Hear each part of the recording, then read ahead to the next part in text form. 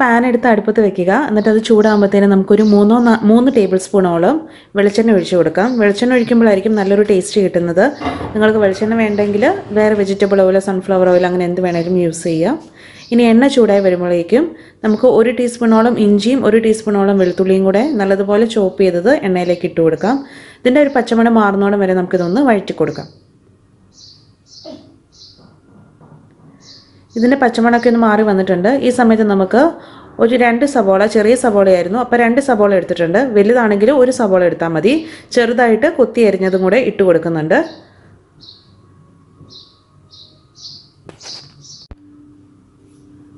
ഇതിന്റെ കൂടെ രണ്ട് പച്ചമുളകും കൂടെ ചെറുതായിട്ട് അരിഞ്ഞത് ഞാൻ ഇടുന്നുണ്ട്.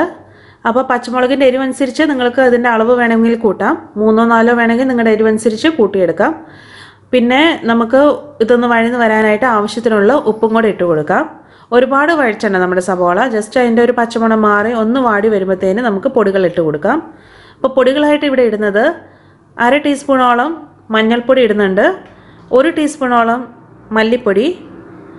പിന്നെ ഒരു ടേബിൾ സ്പൂണോളം കാശ്മീരി ചില്ലി പൗഡർ അതായത് എരിവ് കുറവായിരിക്കും കളർ നല്ലതുപോലെ കിട്ടും. പിന്നെ ഒരു ടേബിൾ സ്പൂണോളം ചിക്കൻ മസാലയും കൂടി ഇടുന്നുണ്ട്. ഇനി നമുക്ക് ഈ പൊടികളൊക്കെ നല്ലതുപോലെ ഒന്ന് വഴിച്ചെടുക്കാം അതിന്റെ പച്ചമണം മാറുന്നോടം വരെ നമുക്ക് എണ്ണയ്ക്കകത്തിട്ട് നല്ലതുപോലെ ഒന്ന് മൂപ്പിച്ചെടുക്കാം.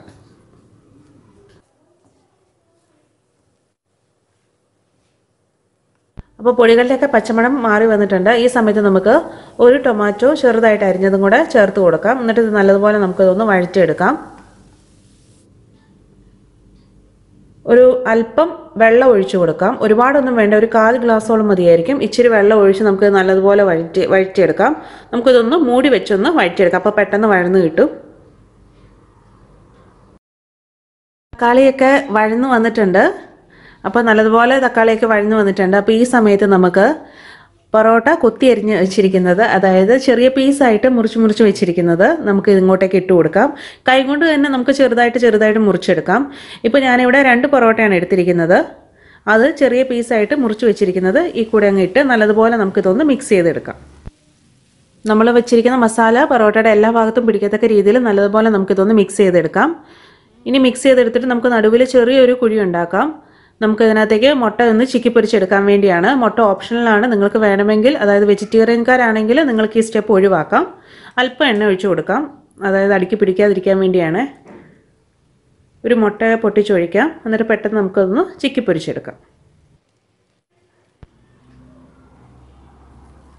അപ്പോൾ മുട്ടയൊക്കെ ചിക്കി പൊരിച്ചതും കൂടെ കൂട്ടി നമുക്ക് നല്ലതുപോലെ ഇതെല്ലാം ഒന്ന് മിക്സ് ചെയ്തെടുക്കാം. അതായത് പൊറോട്ടയും മുട്ട ചിക്കി പൊരിച്ചതും മസാലയും എല്ലാം കൂടെ കൂട്ടി നമുക്ക് നല്ലതുപോലെ ഇതൊന്ന് മിക്സ് ചെയ്തെടുക്കാം. എങ്കിലേ നമുക്ക് എല്ലായിടത്തും ആ നല്ലൊരു ടേസ്റ്റ് നമുക്ക് കിട്ടത്തുള്ളൂ. ഉപ്പ് നോക്കുക. ഉപ്പ് കുറവാന്ന് തോന്നുവാണെങ്കിൽ നിങ്ങൾക്ക് ഈ സമയത്ത് ഉപ്പും കൂടെ ഇട്ട് കൊടുക്കാം.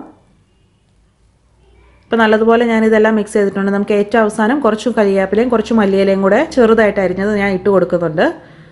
മല്ലിയില ആയിരിക്കും കുറച്ചും കൂടെ നമുക്ക് അധികം ഇടേണ്ടത്. മല്ലിയിലയുടെ ഫ്ലേവറാണ് ഇതിനകത്ത് അധികം കിട്ടേണ്ടത്.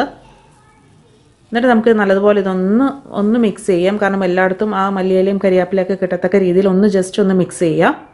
ഇനി നമുക്കിതൊന്ന് സെർവ് ചെയ്യാം. അപ്പോൾ സെർവ് ചെയ്യുമ്പം അല്പം റൈത്തയുടെ കൂടെ അതായത് കുറച്ച് റൈത്തയുടെ കൂടെ പിന്നെ ചെറിയതായിട്ട് കട്ട് ചെയ്ത് വെച്ചിരിക്കുന്ന സവാളയുടെ കൂടെയാണ് നമുക്ക് റെസ്റ്റോറന്റിൽ ചെല്ലുമ്പോൾ കിട്ടുന്നത്. ആ രീതിയിൽ തന്നെ ഞാനിവിടെ സെർവ് ചെയ്ത് വെച്ചിട്ടുണ്ട്. അപ്പോൾ അപ്പോൾ വീട്ടിലെ പൊറോട്ടയോ അതുപോലെ ചപ്പാത്തി എന്തെങ്കിലും മിച്ചം വരുവാണെങ്കിൽ ഈ രീതിയിൽ നിങ്ങളൊന്ന് ട്രൈ ചെയ്ത് നോക്കുക. എപ്പോഴും അല്ലെങ്കിലും വല്ലപ്പോഴും ഇതുപോലെ ഒന്ന് ഈവനിങ് ആയിട്ട് ഈവനിങ് സ്നാക്കായിട്ട് നിങ്ങൾക്ക് ഇത് ഉപയോഗിക്കാം. അപ്പോൾ അടുത്ത ദിവസം പുതിയ റെസിപ്പി ആയിട്ട് കാണാം. താങ്ക്